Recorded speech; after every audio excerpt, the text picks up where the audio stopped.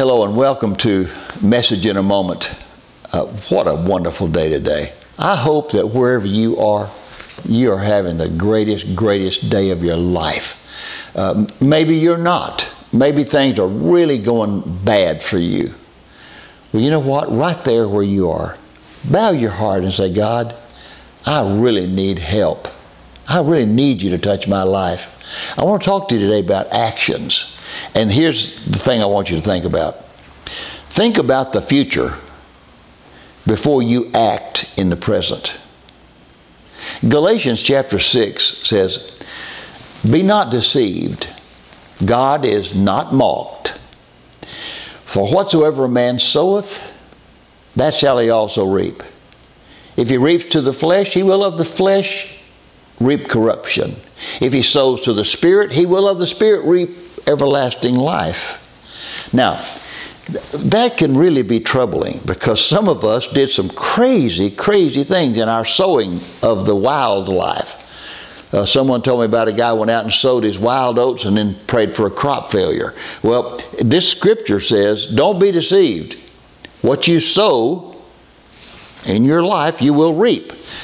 Well, is that good news? It is good news if you're like me because after I realized that and I wanted to have a different harvest, well, what did I do? If I want if, if you've been sowing one kind of seed and it's going to produce this harvest, but you want a different harvest, what are you going to do?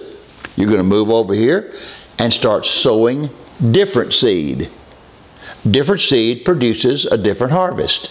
So, true if you sow to the flesh, you will of the flesh reap corruption. And corruption means that it will be decayed. There will be a time that you will have outgrown that harvest. And you begin, if you've planted then seeds of spiritual nature, you will, as you conclude that harvest of the wildlife, you begin to move into the harvest of the Spirit. And the good news to me, as far as uh, Galatians chapter 6, is verse 10 verse 9 and 10. He says, So, don't grow weary in well doing, for in due season we shall reap if we faint not. Do you see that it ends in positive?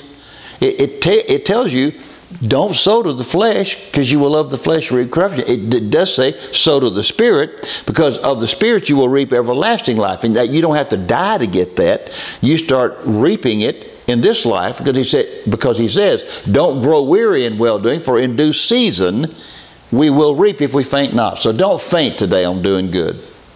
Stop planting seeds of the flesh start planting seeds of the spirit and you will reap of the spirit life everlasting. Well have a wonderful day until we meet again